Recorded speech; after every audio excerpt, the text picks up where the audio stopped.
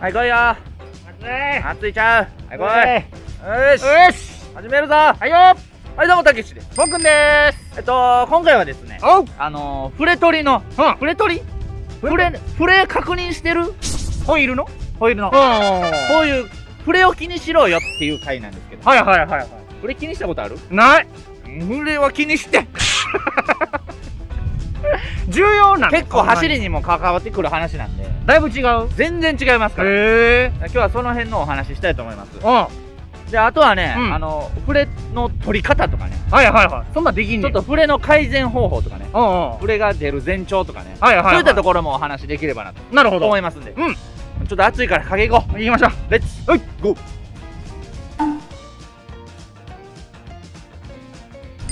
はい。お。うというわけで、うん。フレのお話なんですけど。も、はいはいはいはい。そもそもね、うん。フレって何っていう話なんですけど、タイヤのね。はい。うん。ホイールね。ホイールね。タイヤとホイールは違うよ。出た出た。ちょっと言い間違えただけ。ホイールね。うん。うんホイールのフレはえー、これどういうことって言いますといはいはい。ホイールをこう回しますわな。うんうん。ほんだら基本的にはうん。何にもないホイールっていうのはこれまっすぐ綺麗に回るわけですわ、はいはいはいまっすぐね。うん、ただうん。フレがあるホイールっていうのはうん。はいまっすぐ回した時に、ここのリムね。はいはいリムっていうんですよここ。はいはい。ここがうん。こう見たまっすぐ見た時にうん。グワングワングワンって動くんですこれ今手で動かしましたけどうん。もう手で何もしなくても勝手に左右にグワングワングワンって揺れちゃったりねじれてるってこねじれてるっていうこと。これはまああうん。それがまあ言うたらフレ、フレじゃあこれなんでそんなことなってんのとうん。いうことなんですけども、はいはいはい。スポークがありますわなこれね。この棒ね。うんうんうん。この棒の、えーテンションがはいはい。基本的な均一なんですうん。全部同じようなバランスよくはいはい。テンションがかかってるからうん。まっすぐこのホイールリムがうん。中心でバランスよく回す回せるんですけどはいはい。一箇所でも緩んじゃうとうん。テンションバランスが崩れちゃうわけ、うん、あ引っ張りがね。だかうんうんうん。らその部分がうん。引っ張り強度がなくなるからうん。グワンってこう触れちゃう。触れちゃう。ああもしくはた変形してる時とかもあるん衝撃受けて。何が？ホホイールのこのリムが。リムが変形して。リムが変形しうーんとねうん。あまあ落車とかしたらまああるんはある。まあよっぽどな衝撃がないと備え備え。備え備えないな基本的にはもうこの引っ張り力が緩むことによって怒る。起こってると。うん。うん。とまあ今簡単にフレのフレの成り立ち。それちょっとなぜ触れるのか。なぜフレるのかちょっと言いましたけど。うんえー、じゃあフレってあかんのかと。うんうんフレのフレってフレってあかんの？まあなんとなくあかんのやろなとは思うけど。うどういったことが？あかんあかんよ。風も強いやん。大丈夫これ。風使えてる？あのーうん。フレによるデメリットっていうのがねもう非常に多い。もうメリットないっす。まあそりゃそうよな。うん。そのフレのデメリットっていうのが、うん。え基本的にうん。もうまっすぐ走りにくくなる、はいはいはい、はい、だってホイール自体がこうたわむわけですから揺れてるんやもん、ね、揺れてるから。うんうんっていうのと、うん。えー、テンションが一箇所ずれてるから、うん。うんもうそこがね、うんうん。あの折れやすくなっちゃう、スポークが。うん、はいはいはい。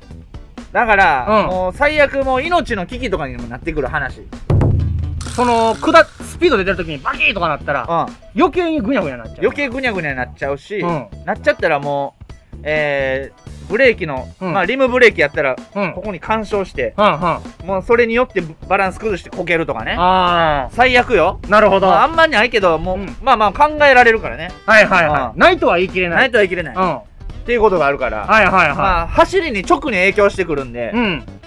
意外とこれでもチェックってしてないわ。そんな。チェックしてないでしょ、うん。だからその今のはまあデメリットなんやけど、うん。それのチェック方法。はいはいはいどうやってわかんの？うん。でこれやっぱりね、うん。防ぐことも可能なんですよ。うんうんうん。でその方法なんですけども、はいはい。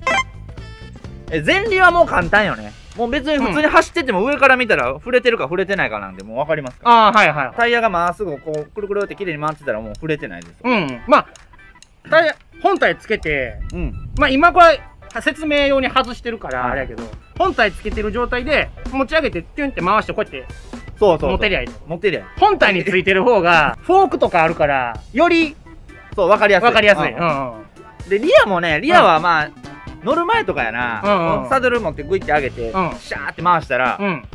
もう上から見たらはいはい一緒ですわ。なるほど。触れてるか触れてないか。うん。っていうのと、あとはね、はいはい。触ってもね、わかる。ほう手で。うん。結構こう、あ、触れてないからええわって思いがちなんやけど、うん触ってみたら、うん。えー、さっきも言ったけど、テンションが均一にかかってんのよ。はいはいはだから、触った時に、い。うん。ちょっとね、たわむところがあるんですよ。こう、こういう感じで触るんや。そうそうそう。こうね。このハブを中心とした時に、うん左右のスポークをうん。こう持って、うん。見にくいな。真ん中にこうクックって、はいはいはいはクックってしたら、い。うん。緩んでたらね、うん。ちょっとこの辺のニップルっていうんやけど、ネジがね、うん。カチッってね、パキって、なんかこう、ミシッとかきしむ音がするんで、あ音、音、うん音もするしあ。、うん。しない時もあるよ。はいはい。ただでも、明らかに柔らかいなって、テンションが柔らかいなって。うんうんうん。そういうところは緩み傾向にあるんで、はいはいはい自転車屋さん行き、GO! なるほどうん。この一手間。この一手間あるかないかで全然変わってきますわ。うん。え、自分でなんか調整とかできない？自分でもできます。おおなるほど。マニアはできます。マニア向けない。マニア向けです。超マニア向け。超マニア向け。自分では僕はおすすめしない。あー、やらん方がいいレベルなんや。自分では。うん、あんまり知識しっかり勉強してないとやめといた方がいい。あー。というのも、うん専用の工具がいるんですよ。あ、まず、そもそも。そもそも。うんうん。プレ取り台っていうのと、うん。で、ここのニップルのネジなんですけど、はいはいニップル回しっていうネジ。うんうんうん。あとはそのテンションがかかってるかかかってないか分かる、そういう計測機器みたいなのもあるんあーね。で、結構金もかかるし、うん知識もいるし、うん時間もかかるから、結構ね、それを思ったらもう自転車屋さん持ってた方が早いあーね。トータルと思ってる、僕は。まあでもそうよね。命支えてるとこやもんね。そうそうそう。そんななんかようわからんままやんのも良くないし。怖いよ。うん。だから僕はまあ、うん。その辺はもう自転車屋さんにお任せ。たけしはね。たけしは。あ自分でやるの嫌いっていうのもあるけどね。あ。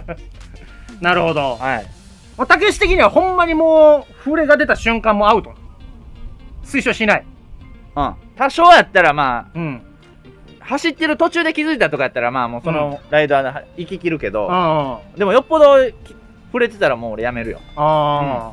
ああ。危ないからね。危ないもん。うん。死にたないよ。ちょっとのことで大怪我しますからねいや、。ほんまするって言まあ、チャリはマジで危ないから。うん。そんなとこかな、その触れの、触れを気にしてほしい理由とか。はいはうん、触れの話や。い。なるほど。いや、意外と重要やね。ほんまに。結構重要やな。うん結構、触れの話してる人、ほんで言ってないかもね。なんかあんま今思ったらうん。全然気ぃつく、気してなかったもん、俺。なあうん。まあ結構ね、走りにも関わってくるんで。うん。ぜひとも、はい。皆さん、はい自転車のホイールの触れ、うん。一度見てみてください。うん。そんな感じではいはい。終わりたいと思います。はい。バイ。バイバーイ